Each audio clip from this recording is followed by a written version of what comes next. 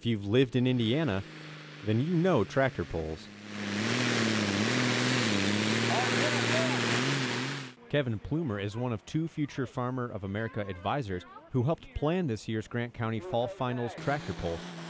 Like NASCAR racing, but with tractors. Uh, they're built for the speed and the power uh, pulling down the track and a lot of the smoke and the noise. People like, like that. Brings everybody together, raises money. Um, everybody has a good time at it. We do every year. The event is a student-led and student-run fundraiser.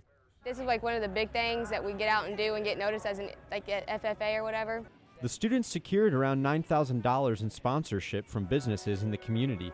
The students also helped with setup and other behind-the-scenes activities. Uh, we do a lot. We came out here Thursday night for a couple hours, and we uh, we have to walk the pulling strip and pick out rocks, so it doesn't. It just makes it a lot go a lot smoother for the pullers and everything. Don't have to worry about anything. Club members worked the event by manning the parking lots and running concessions. Students sold raffle tickets in the stands and event T-shirts. The money raised at the event goes towards the students' fees and field trip expenses. Uh, we try to make the FFA as cheap as possible for people to be involved with it. Uh, we don't want money to be an issue with anybody joining FFA.